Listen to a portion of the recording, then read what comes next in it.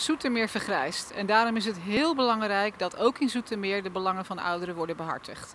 Dus 50PLUS gaat meedoen met de gemeenteraadsverkiezingen in 2022. En we hebben twee fantastische mannen met een 50PLUS hart die die belangen voor u gaan behartigen. Dus ik zou zeggen in 2022 stem op 50PLUS. En ik wil u heel graag voorstellen aan Ton Lammertink en Kees de Reus. Als Zoetermeerder ben ik trots op deze stad. Maar ik maak me ook zorgen. En vandaar dat ik echt belangrijk vind dat 50PLUS straks aan de gemeenteraadsverkiezingen mee gaat doen. En zeker omdat gewoon Zoetermeer een van de snelst groeiende steden is met een hele zware vergrijzing. Daar moet wat aan gedaan worden. Woningbouw is onder andere heel erg belangrijk, want we moeten een doorstroom krijgen. Als 50PLUS Zoetermeer zien we ook kansen.